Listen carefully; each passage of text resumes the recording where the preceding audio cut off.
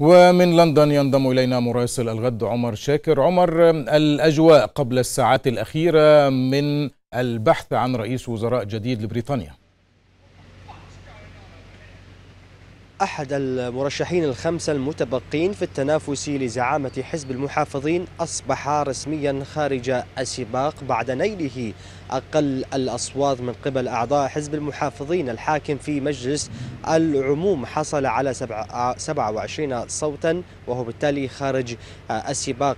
هذه الجولة الثالثة من التصويت ما زال يتصدر فيها بوريس جونسون أحد المرشحين البارزين ووزير الخارجية السابق والذي تصدر هذه الجولة من التصويت بحصوله على 143 صوتا ثم تلاه وزير الخارجية الحالي جيريمي هانت بحصوله على أكثر من 50 صوتا وكذلك وزير البيئة مايكل جوف أكثر من 50 صوتا وما زال المرشح الرابع في السباق هو الساجد جافيد وزير الداخلية الذي حصل أيضا على أكثر من 30 صوتا.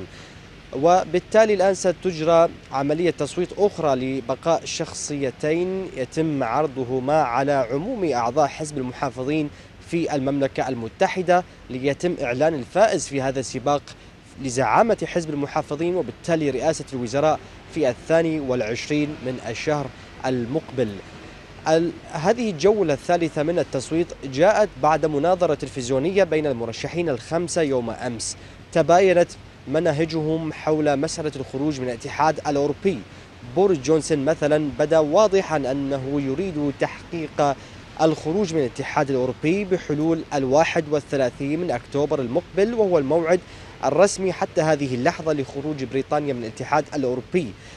بينما جيريمي هانت ومايكل جوف المرشحين الآخرين عبرا عن رغبتهما أو عن أن بالقول أن هناك ربما تكون حاجة للمزيد من الوقت أبعد من هذا الموعد للوصول إلى اتفاق مع الاتحاد الأوروبي ربما إعادة التفاوض. بينما المرشح الخاسر لهذا اليوم آه، قدم آه، حجة أخرى في هذه الحملة الانتخابية بالقول أن ليس هناك صفقة معروضة من قبل الاتحاد الأوروبي وأن نعم. الخروج من دون اتفاق سيكون كارثيا.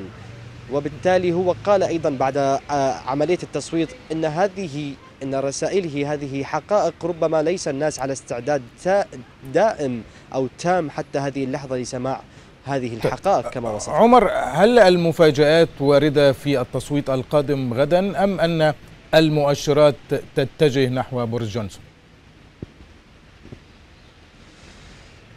المفاجأة ستكون حاضرة في كل الأوقات في عمليات التصويت. ربما يكون هناك انسحاب كما حصل في مع تريزا ماي عندما بقت المرشحة الأولى وبالتالي لا حاجة لعرض أي شخصيتين على عموم أعضاء حزب المحافظين في البلاد.